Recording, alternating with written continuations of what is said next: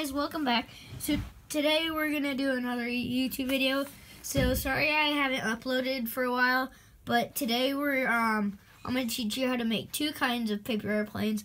So first you have to um fold it. This is the first one, just regular. So first, sorry about that. So first you just have to fold it, hamburger. Crease it. Sorry if you can't see this. Okay, open it back up. It will look like a book. And then when you have that, it looks like this. Make it, make these like little things, these little wings that line up with the crease, and then crease them. So make it line up with the crease in the middle. So the second one that you do won't be that good because you can't make it always even.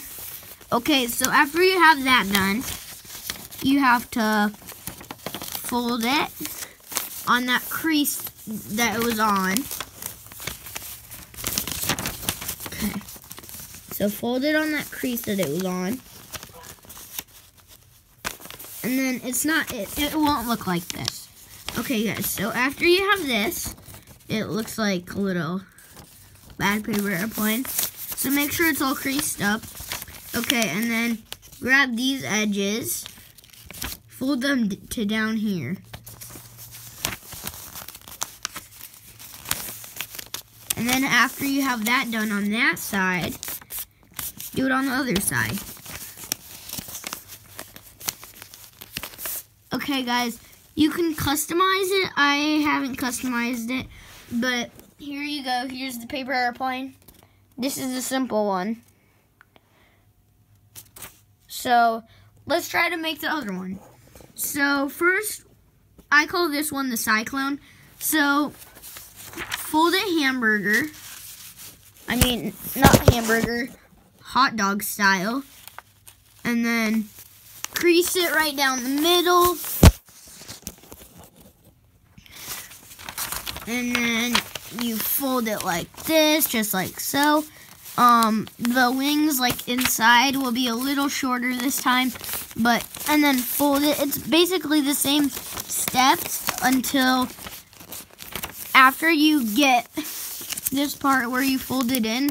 It's just like the end of the regular one, but after you do that, you, okay. So after you get it like this, so see you got it like that. After you do that, you have to grab these up, these little tips up here, and then fold them down. Like that. See? Um, so after you have that done, do the other side.